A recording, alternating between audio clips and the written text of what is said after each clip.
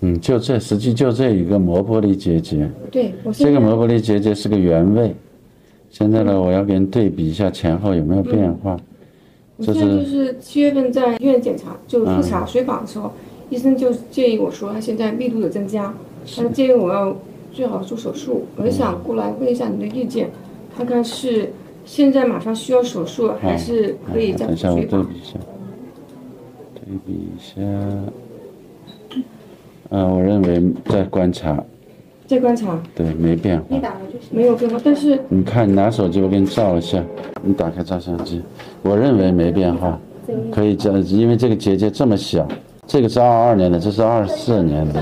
对两年了，我两年之间的话，先是半年水访一次，然后是一年水访一次。对呀、你这是二一年就发现了哈，对他一年体检的时候，这个是二二年的，嗯，对，然后这是最新的。嗯，我认为它大小密度变化不明显，可能稍稍饱满一些。嗯，但是这么小的结节，你看四五毫米大概，所以呢，不要去碰它。这么小的结节不值得去做，啊。所以呢，继续定期每年查一次就可以了。每年一次啊？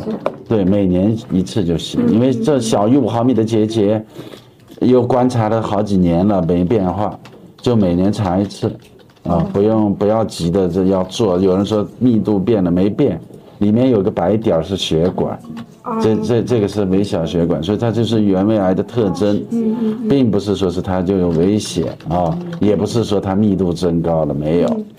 但是似乎比原来饱满，就是像胖了一点，嗯，但尺寸还基本上差不多，嗯，所以观察肯定是安全的，几年应该没什么大问题的。啊。